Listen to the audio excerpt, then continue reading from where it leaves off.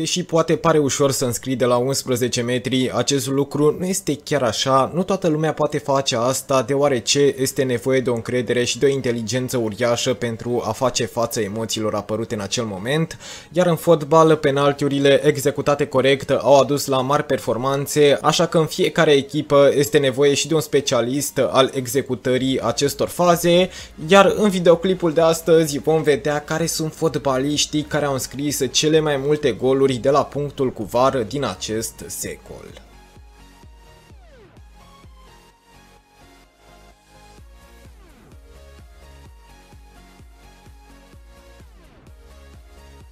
Deschidem videoclipul nostru cu Sergio Aguero care a înscris de 41 de ori din penalti făcând acest lucru pentru Atletico Independiente, Atletico Madrid și Manchester City. Ultima fiind echipa pentru care a marcat de cele mai multe ori. Unul din cei mai buni atacanți contemporani care de sezoane bune înscrie o mulțime de goluri, el reușind în Premier League să ocupe poziția patra în topul golgheterilor all-time. Desigur, câteva din cele 180 de goluri au fost din loviturii de la 11 metri. Ca o paranteză amuzantă, argentinianul a ratat două penaltiuri în meciul cu FCSB din 2018 și a fost luat în râs de suporterii români, dar acesta s-a răzbunat la puțină distanță înscriind un hat-trick.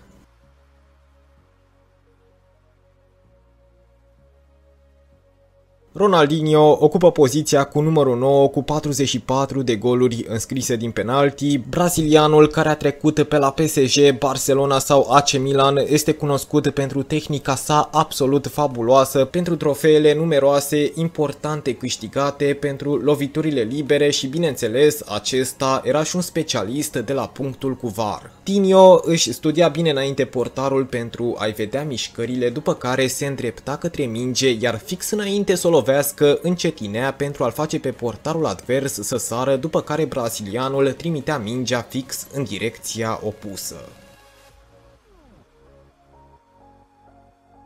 La egalitate de goluri de la 11 metri avem o altă legendă și anume Alessandro Del Piero, un fotbalist extrem de important pentru Juventus și naționala Italiei cu care a devenit campion mondial. Del Piero este cel mai bun marcator din istoria lui Juve cu 290 de goluri și bineînțeles câteva dintre acestea au fost marcate din penalti, el având un stil interesant de a executa aceste lovituri pentru că se apropia cu pași mărunți către minge și încerca să vadă unde sare portarul, strategie care a funcționat de multe ori, dar care l-a trădat în meciul cu Aston Villa, acela fiind unul din cele mai slabe bătute penaltiuri văzute de noi.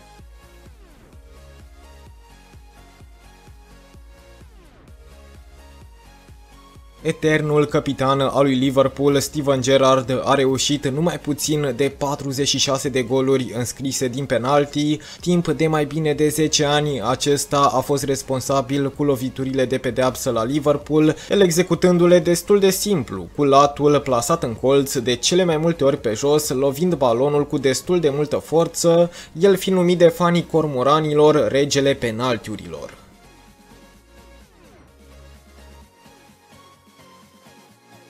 El Matador, Edison Cavani, în acești ani de activitate a reușit să marcheze 48 de goluri, ocupând astfel poziția a 6 în videoclipul nostru. Uruguaianul a devenit cel mai bun marcator din istoria lui PSG și datorită numărului mare de lovituri de la 11 metri executate corect, Cavani lovi mingea în forță, astfel existând posibilitatea și unei ratări, dar astfel portarul este bătut aproape 100% neavând timp să reacționeze reacționeze. Un episod deja cunoscut de voi, dar încă amuzant, este cel cu Neymar și Cavani care s-au certat cine se execute lovitura de la 11 metri, asta după ce El Matador nimerise bara la penaltiul anterior. Că tot vorbi de Gerard ceva mai devreme, ei bine, pe locul 5 îl avem pe rivalul său cu care a fost coechipier la Naționala Angliei, dar aceștia erau capitanii rivalelor Liverpool, respectiv Chelsea. Bineînțeles, este vorba de Frank Lampard, care a reușit să transforme 50 de lovituri de la 11 metri. Lampard, legendarul fotbalist al lui Chelsea, a reușit să bată portarul de 3 ori de la 11 metri, portarul lui West Ham în meciul din 2009, când arbitrul l-a pus să repete de 3 ori lovitura de la 11 metri, iar el a făcut-o corect de fiecare dată.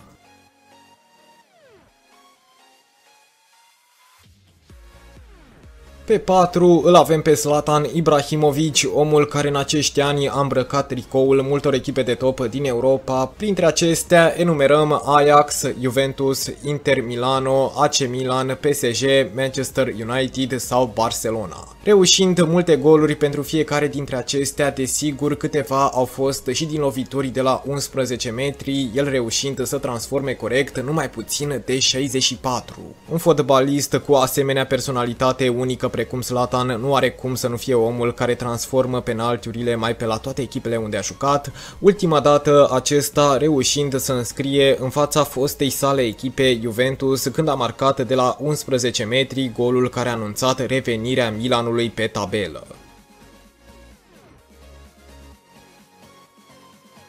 Și am ajuns la primii trei, iar următoarele două locuri sunt chiar la egalitate, așa că am făcut departajarea gândindu-ne că unul dintre aceștia are mult de jucat și cu siguranță va mai înscrie, așa că pe locul 3 îl avem pe legendarul capitan al Romei, Francesco Totti, cu 75 de goluri înscrise din penalti. Campionul mondial cu Italia execută penaltiurile foarte precis și rare ori rata, iar acesta este un alt motiv pentru care este atât de iubit la Roma, unde este un adevărat zeu roman, el jucând toată cariera pentru AS Roma.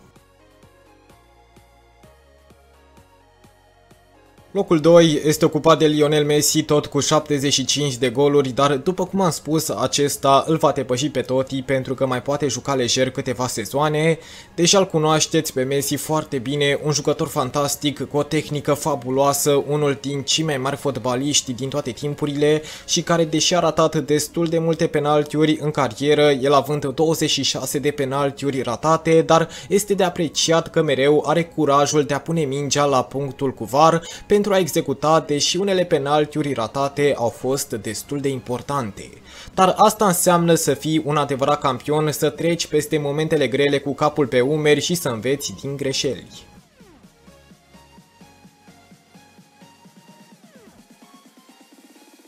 Locul 1 deja este mai mult decât evident că Cristiano Ronaldo primește premiul pentru fotbalistul cu cele mai multe goluri marcate de la 11 metri din acest secol. Superstarul portughez are la activ 114 penaltiuri transformate corect, la diferență mare de restul fotbaliștilor din top, deși unii îl critică numindu-l penaldo, eu zic că merită toate aprecierile pentru acest curaj incredibil pe care îl are. Ronaldo, deși a mai ratat penaltiuri în carieră, niciodată dată, oriunde a fost, nu s-a lăsat intimidat de acest lucru și îl putem numi cel mai mare executant de penaltiuri din acest secol, premiul pe care cu siguranță îl merita.